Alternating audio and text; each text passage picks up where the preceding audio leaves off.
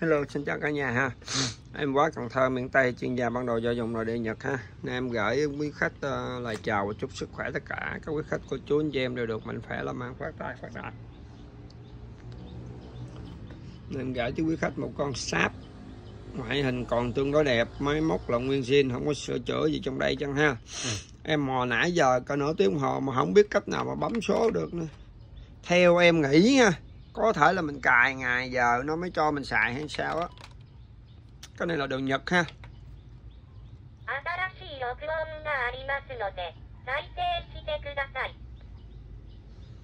Mò hoài mà không biết lúc nào chứ.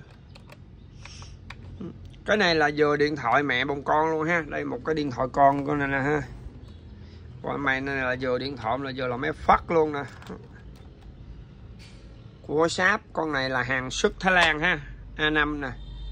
À, A5 nè. B5 nè. A4 nè ha. Mấy cái loại à, phát á mấy cái loại giấy á.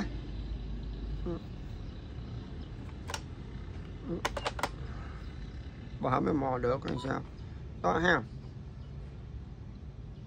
Mấy cái số nè.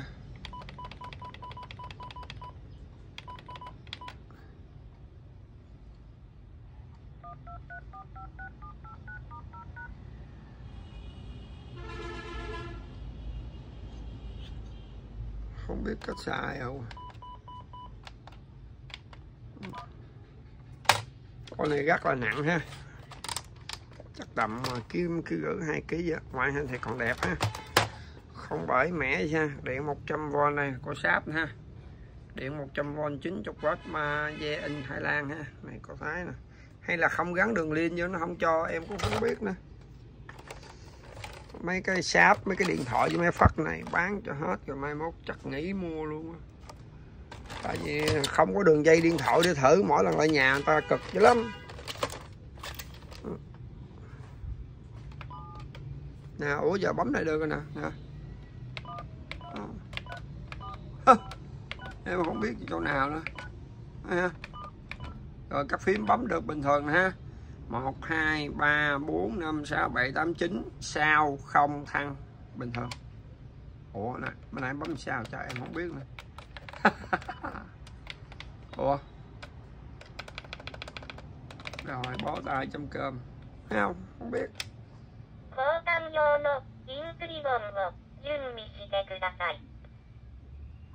Bó tay đây, con này là cái à, Panasonic bằng con ha, nè.